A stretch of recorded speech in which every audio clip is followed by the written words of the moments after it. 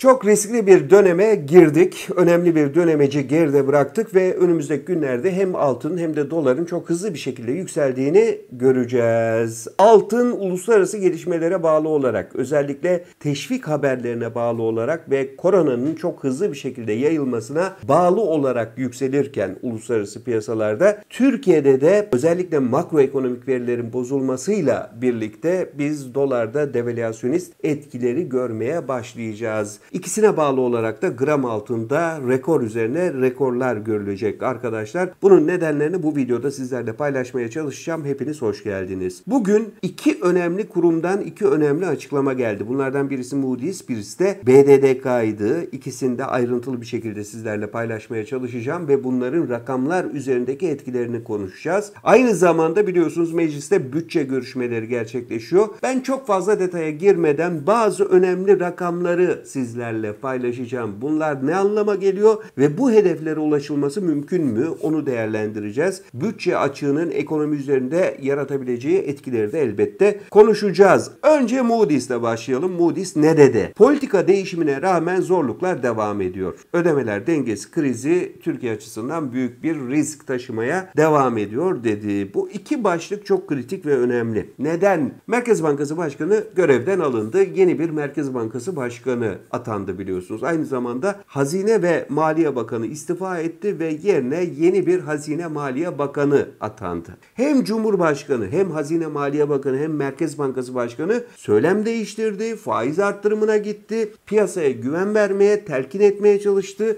ama beklentiler gerçekleşmedi. Bütün bu değişimlere rağmen kırılganlıklar tüm hızıyla devam ediyor. Gerek kişiler, gerçek kişiler, gerekse tüzel kişiler hala döviz alıyorlar. Yabancıların kaçışı hızlı bir şekilde devam ediyor ve beklentiler ne yazık ki gerçekleşmiyor. Bu Türkiye'deki döviz sıkışıklığının ve aynı zamanda makro ekonomik kırılganlıkların devam ettiğini gösteriyor. Defalarca videolarımda bunları sizlerle paylaştım biliyorsunuz son dönemde. Moody's de aynı noktaya işaret ediyor. Evet sen bir politika değişikliğine gitmiş gibi görünüyorsun ama bu bizi tatmin etmiyor diyor. Uluslararası yatırımcıya inandırıcı gelmiyor diyor. Bu nedenle de kırılganlıklarınız devam ediyor. Bunu düzeltebilmenin tek bir yolu var. Yapısal tedbirlere başvurmak zorundasınız diyor. Ama böyle bir adım atılmadığında işaret ediyor. Moody's'in ödemeler dengesi kriziyle ilgili uyarısı da bence çok önemli. Hala senin kısa vadeli dış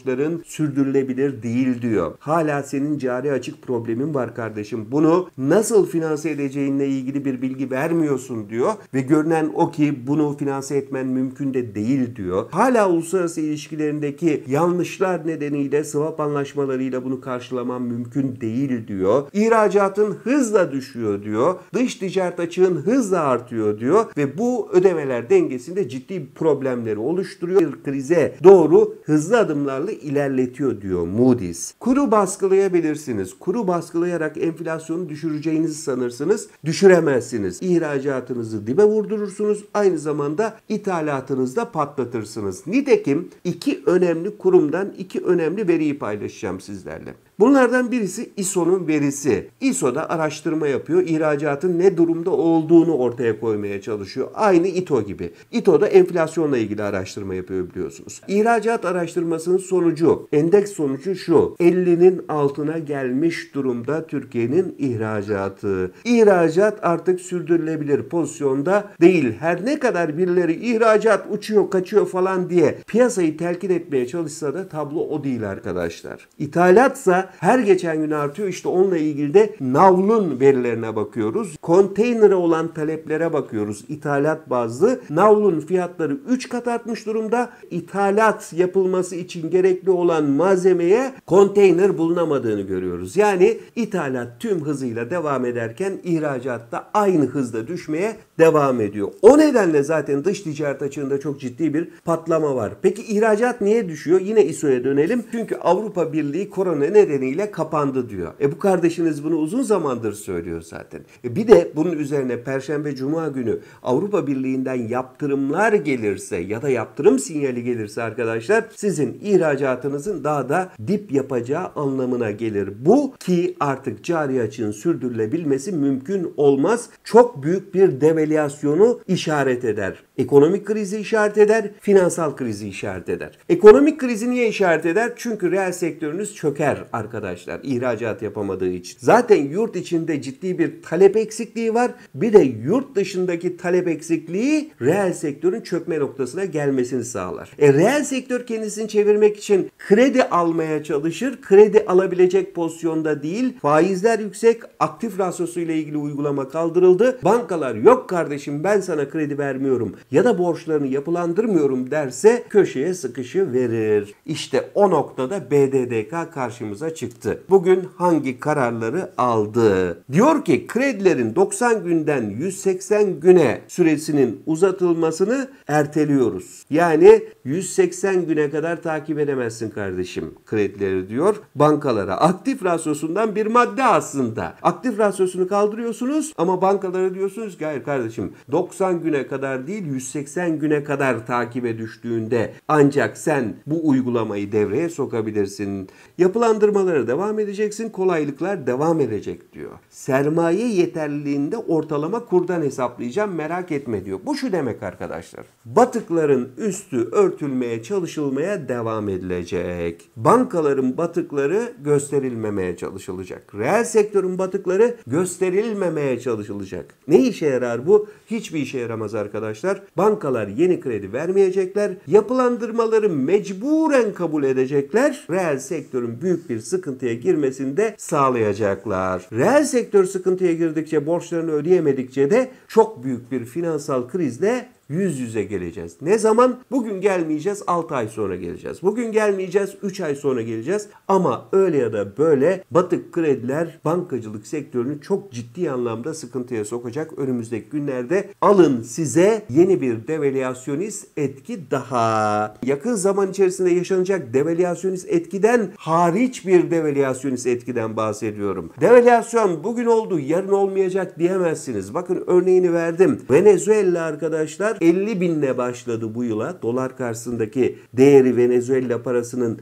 50 bindi. Bugün geldiğimiz nokta 1 milyonun üzerine çıkmış durumda. Demek ki arkadaşlar eğer ki makroekonomik dengelerinizi bozarsanız bir sonraki adımda bütün finansal dengeleriniz de bozulur. Siz ne yaparsanız yapın. Bugün faizleri yükseltirsiniz. Kuru bir miktar baskılarsınız. Makroekonomik dengelerinizi düzeltmediğiniz için, bu sorununuzu gidermediğiniz için yarın öbür gün hem yüksek faiz ortamına girersiniz. Bugün %20 olan faizinizi %40'lı seviyelere çıkartmak zorunda kalırsınız. Hem kur şoku yaşarsınız hem de yüksek enflasyon ortamına girersiniz. Bunu anlatmaya çalışıyoruz ki bu anlattıklarımızın ne kadar gerçekçi olduğunda zaten hem Moody's'in açıklamaları hem BDDK'nın yeni uygulamaları çok net bir şekilde ortaya koyuyor. Hadi gelin şimdi bir başka makroekonomik veriye bakalım. O da bütçe. Biliyorsunuz bütçe plan ve bütçe komisyonunda konuşuluyor. Ben siyasetten tamamen ari olarak, tamamen dışında kalarak sizlerle bazı rakamları paylaşmak istiyorum. Ne kadar tehlikeli bir durumda olduğumuzun net göstergelerinden birisi bu rakamlar çünkü. 1.4 trilyon liralık harcama planlanıyor 2021'de. 1.1 trilyon liralık da gelir elde edilmesi planlanıyor. Yani vergi toplanması planlanıyor. Mümkün mü arkadaşlar? Mümkün değil. Talebin bu kadar düştüğü bir ortamda dolaylı vergilerinde dip yapacağı ortada. Kurumlardan elde edeceğiniz gelir vergileri zaten sıkıntılı arkadaşlar. Bunları tahsil edemiyorsunuz. Belki kaynaktan kestiğiniz vergileri toplayacaksınız stopajları. Bu da insanların gelirinin çok ciddi anlamda düşmesini beraberinde getirecek. Öyle de olsa yani 1.1 trilyonluk vergi toplansa bile arkadaşlar ki mümkün değil ama velev ki 1.1 trilyon liralık vergi toplansa bile 245 milyar liralık bir bütçe açığıyla karşı karşıyayız. Hazine bu açığı kapatmak için borçlanmalara gidecek. İşte 308 milyar liralık da bir hazine borçlanması var. Bakalım o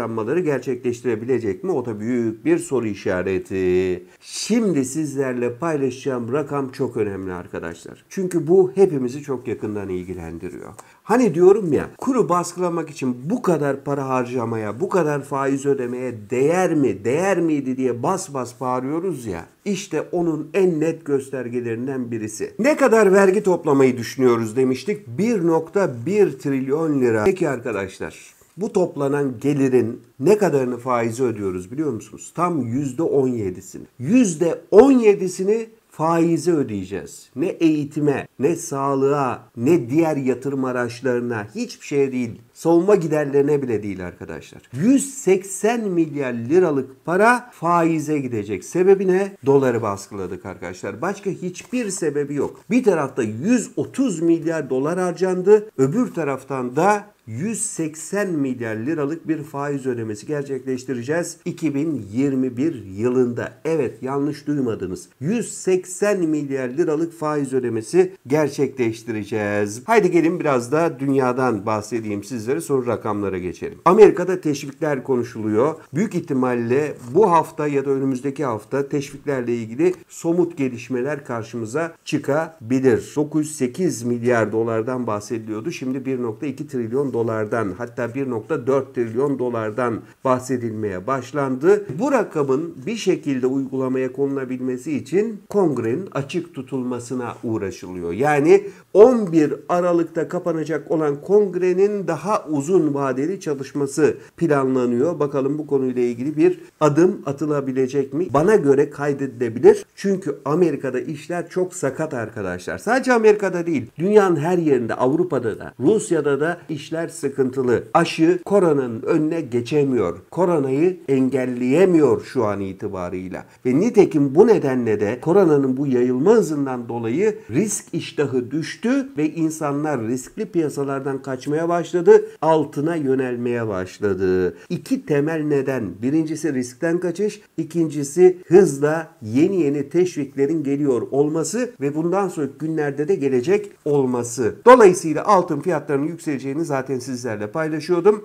Bugün 1870 doların üzerine de çıktı. Şu sıralarda 1872 dolar. Önümüzdeki günlerde hızlı bir şekilde 1900 doların üzerine çıktığını göreceğiz ve sonrasında da teşvik haberleri ve risk artışıyla birlikte altının onsunun yeni rekor denemeleri yaptığını göreceğiz. Önümüzdeki yıl 2021 yılı 2020'den daha iyi bir yıl olmayacak. Kim ne derse desin. Çok zor bir yıl bizi bekliyor. Çok zor aylar bizi bekliyor. Altında önce 2300 sonra 2500 ve hatta sonrasında muhtemelen 3000 dolar seviyelerini denemeye başlayacağız. Türkiye'de de gram altın fiyatlarının hızlı bir şekilde yükseldiğini, her geçen gün yeni rekorlarla karşımıza çıktığını göreceğiz. Buradaki temel mesele beklemeyi başarabiliyor muyuz? Sakin kalabiliyor muyuz? Bu arkadaşlar. Sakin kalıyorsanız sıkıntı yok. Sakin kalamayıp paniklemeye başlıyorsanız ciddi zararlarla karşı karşıya kalacaksınız. Bunun özellikle altını çizmek istiyorum. Diğer taraftan dolar 7.83 seviyesinde ve biraz önce sizlerle paylaştığım haberler nedeniyle nedeniyle Türkiye'de iyi ihtimal kademeli bir yükseliş olursa önümüzdeki günlerde 8.80 seviyesine giden bir dolar kuru göreceğiz. Sonrasında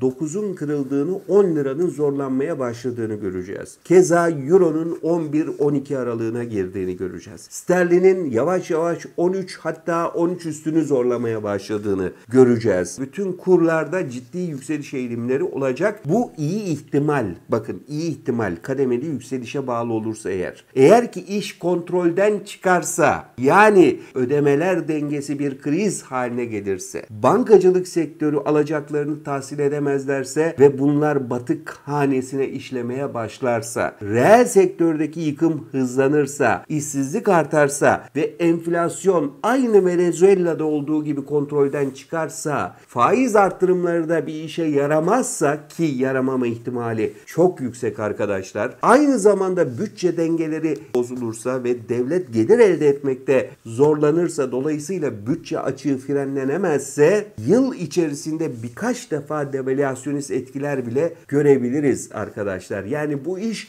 2018 Ağustos ayında olduğu gibi olmaz. Arka arkaya devalüasyonist etkilerle kurun hızlı bir şekilde arttığını görürüz. İlk hedef 16-20 aralığı olur. Sonrasını o gün geldiğinde konuşmamız gerekiyor. Eğer doğru işler yapılırsa o gün geldiğinde belki bir, bir buçuk yıl daha kur frenlenir. O frenleme esnasında Türkiye doğru adımları atmazsa emin olun her 6 ayda 7 ayda bir yeni kur şoklarıyla karşı karşıya kalırız. Türkiye ekonomisi büyük bir ekonomik krize, ekonomik çıkmaza ve sonrasında hem finansal krize hem de ekonomik bunalıma doğru emin adımlarla ilerler. Çünkü dünyada da işler çok iyi gitmiyor. İyi ihtimali konuşursak yani doların 8.80 cephesine ilerlediğini görürsek önümüzdeki günlerde altın onsunun 1900'ü kırıp 2000 dolar seviyesini zorlamaya başladığını gördüğümüz günlerde altının gramını artık 560-580 aralığında görüyor